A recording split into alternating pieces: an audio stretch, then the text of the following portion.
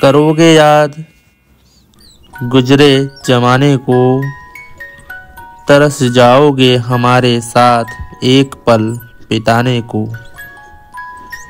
फिर आवाज़ दोगे हमें वापस बुलाने को। और हम कहेंगे, दरवाज़ा नहीं है कब्र से बाहर आने को।